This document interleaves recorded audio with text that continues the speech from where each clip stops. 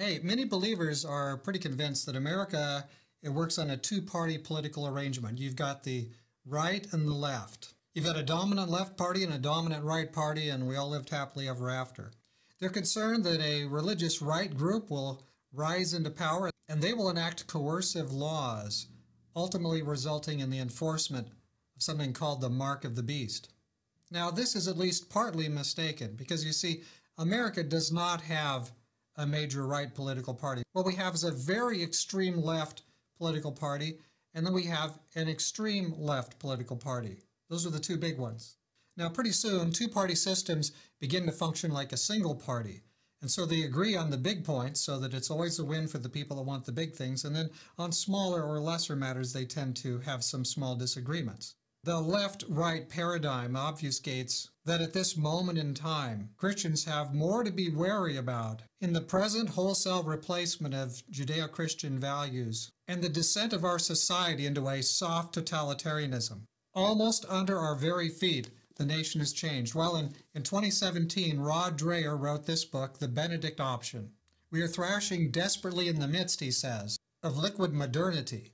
Liquid modernity is when change occurs so rapidly that it's difficult to get a get a stand up on anything. It's difficult to get a grip on everything. Things are just changing so fast. Things don't have time to solidify. And it's difficult not to concur with Dreher's kind of gloomy assessment of Christian prospects in our world today. Listen to this quote from uh, page 8. The light of Christianity is flickering out all over the West. There are people alive today who may live to see the effective death of Christianity within our civilization. By God's mercy, the faith may continue to flourish in the global South and China. But barring a dramatic reversal of current trends, it will all but disappear entirely in Europe and in North America. This may not be the end of the world, but it is the end of a world and only the willfully blind would deny it. Now, Dreher calls his response the Benedict option. And he says this is not an escape from the real world, but a way to see that world and dwell in it as it truly is, to bear with the world in love and transform it as the Holy Spirit transforms us. The Benedict option, or I'll call it TBO here. TBO, he says, changes the way Christians approach politics, church, family, community, education, our jobs, sexuality, and technology. Unquote. So Dreher gleans ideas from Benedict of Nursia, whose approach gave staying power to the monastic system, which was founded about 1400 years ago and continues to this day. So there is obviously some staying power to it for all of its good or bad pieces. Now, not too many Bible Protestants, none of us are really interested in picking up pieces of Dark Ages Catholicism and adopting those kind of medieval practices. But that's really not what Dreher's about here in his book. He sees Western Christianity as in a state of decay that, that's, that's too late even to preserve it. What he suggests is that Christians preserve what we can, do what we can to preserve a Christian way of life. And we build kind of a parallel society. We've got this society, and we would build a parallel society in parallel to it.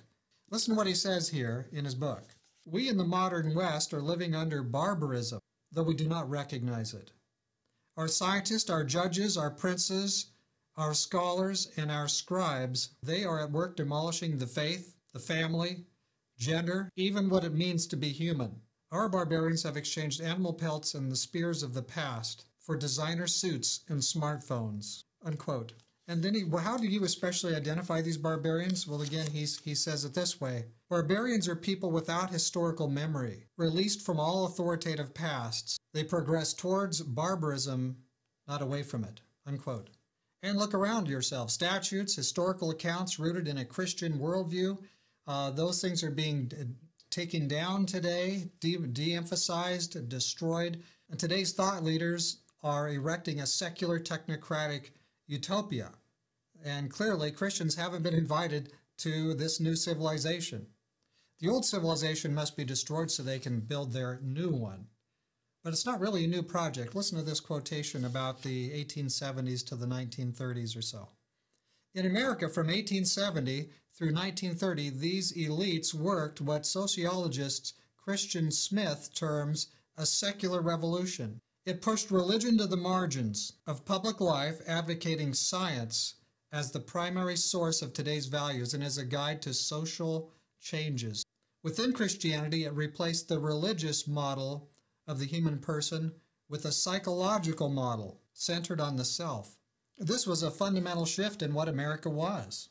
And the high priest of this new era were not the clergy, they were the scientists. Virtue and the transcendent were replaced with the pragmatic and the scientific. And so humans are now understood to be the product of an unintelligent, unguided evolution from single celled creatures into an upwardly evolving intelligence.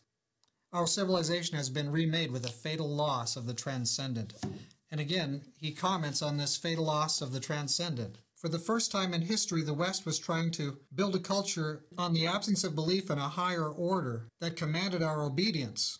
Instead of teaching us of what we must deprive ourselves to be civilized, we have a culture built on a cult of desire, one that tells us we find meaning and purpose in releasing ourselves from the old prohibitions as we self directed individuals choose.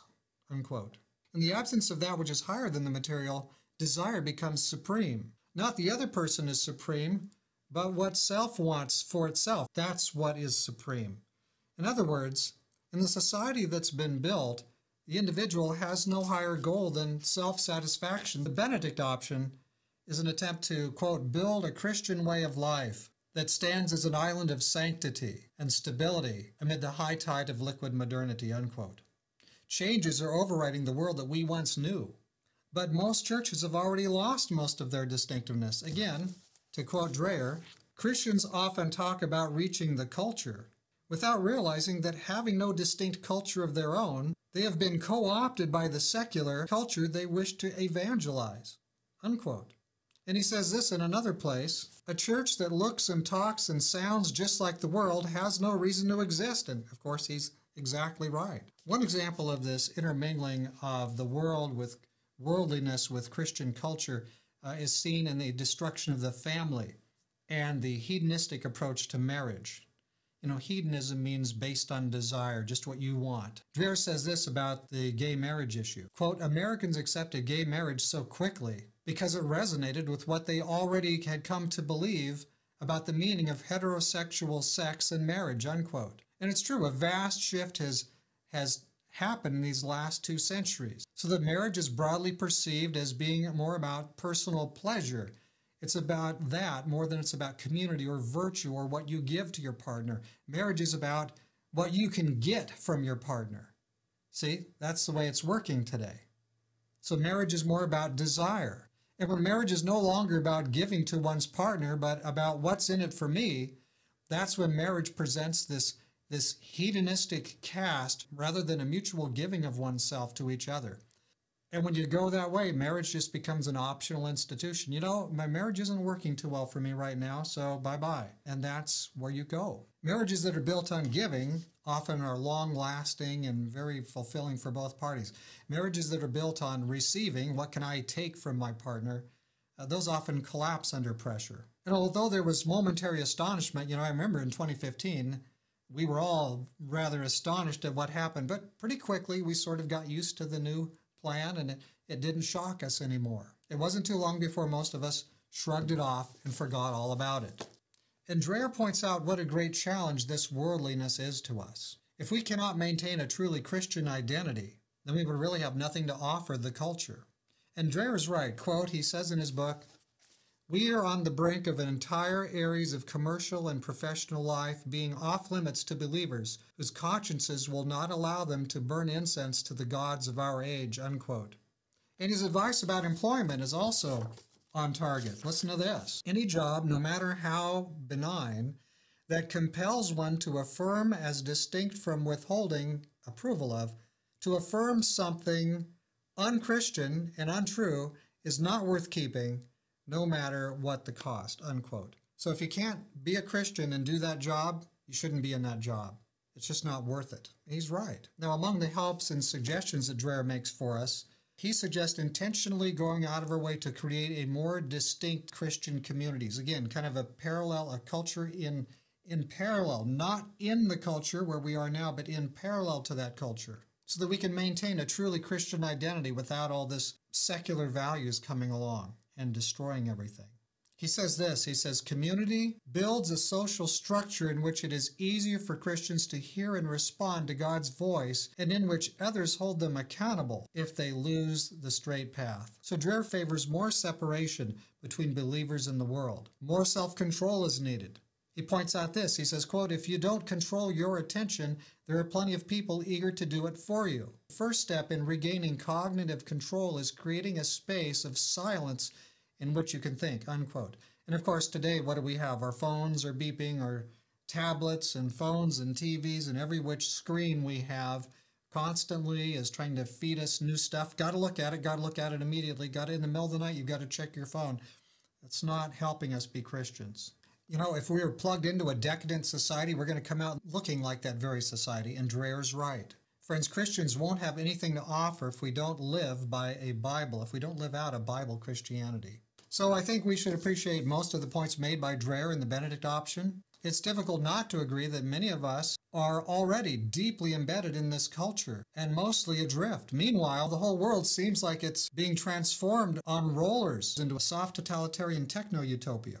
I would recommend Legutko's 2016 book, and I'll link to it up here, The Demon in Democracy. That is a very useful book. It helps us to see why our world is changing. I'd also recommend Dreher's book he wrote in 2020 called Live Not by Lies. That's another very critical book that says a lot more about how to resist these changes.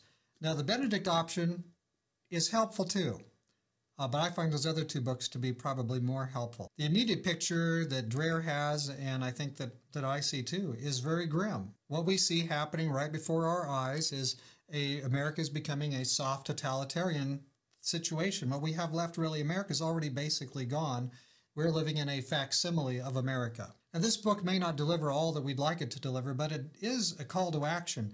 And I want to read from, uh, from right near the beginning of the book. I think it's the best way to end as we think about what this book's about.